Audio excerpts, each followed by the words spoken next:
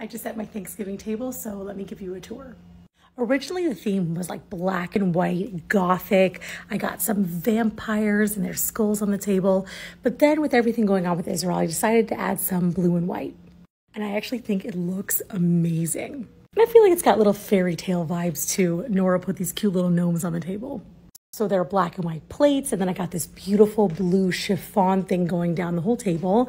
Lots and lots of pumpkins and these little candles.